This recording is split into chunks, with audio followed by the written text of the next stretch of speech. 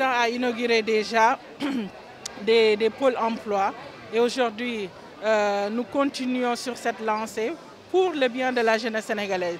Ces pôles emploi sont d'une importance capitale.